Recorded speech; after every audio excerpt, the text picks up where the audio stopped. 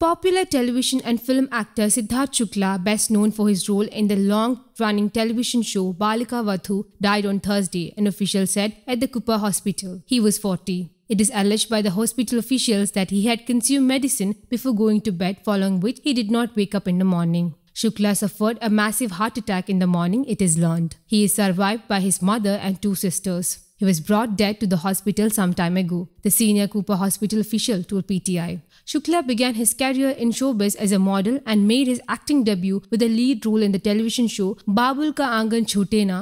and he later appeared on shows such as Jaane Pehchaane Se, Ye Ajnabbi, Love U Zindagi, but became a household name with Balika Vadhu. He also participated in reality shows such as Jhalak Dikhhla Jaa 6, Fear Factor Khatron Ke Khiladi 7 and was a winner of Bigg Boss 13. He made his debut in Bollywood in the film Humpty Sharma Ki Dulhania in 2014. News Desk Kaumudy Global.